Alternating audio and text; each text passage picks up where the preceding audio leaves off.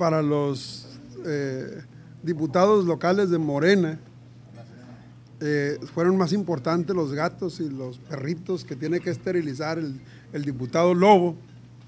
Yo creo que porque se siente lobo y, y es necesario que lo esterilicen. Bueno, pero lo cierto es que nos dejaron eh, en estado de indefensión total. No nos pusieron un solo peso para el tema de semilla de temporaleros